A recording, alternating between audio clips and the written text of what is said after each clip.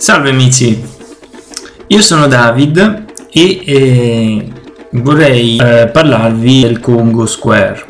Durante il XVIII secolo, sotto il dominio francese, il codice nero influenzò pesantemente la vita degli schiavi e appunto in Congo Square gli schiavi si riunivano per ballare, cantare e suonare musica.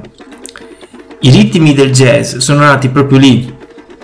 La danza jazz è nata proprio lì, cioè dai riti e dalle tradizioni africane. Fu nella Congo Square che molte danze portate dall'Africa centro-occidentale durante la schiavitù poterono essere viste da tutti, dalla metà del 1700 fino alla metà del 1800. New Orleans permetteva agli schiavi di riposarsi la domenica pomeriggio e di socializzare tra di loro, concedendogli appunto questa piazza.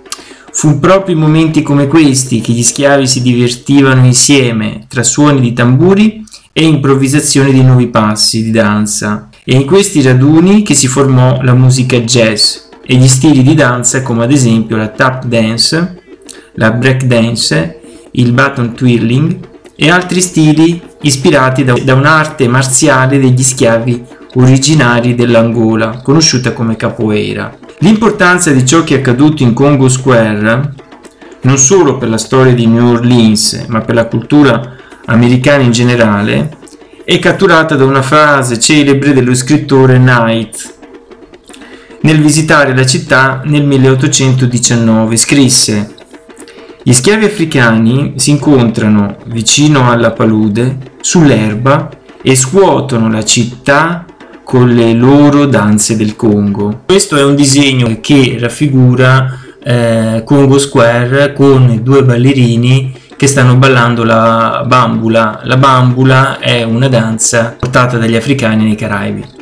Volevo farvi vedere eh, Congo Square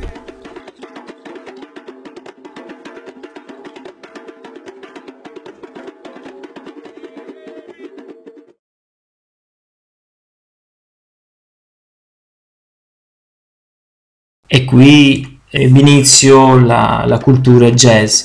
Ecco, questo, questo insegna che adesso se riesco ad avvicinarmi, ecco, che appunto parla di Congo Square. Questa foto qui è il disegno che vi ho mostrato all'inizio del, del video. Ecco, io vi ringrazio per il tempo che mi avete dedicato. Ciao amici!